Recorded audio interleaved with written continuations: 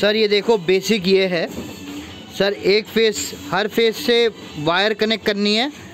Stepper motor के unit को motor पे कनेक्ट करना है और इसको स्टेप उसमें डालना है। और जितनी बार आप ये बटन पुश करें, करूँगा मैं, ये देखो सर। ठीक है सर? अब मैं इसको फ्री रन में डाल दिया।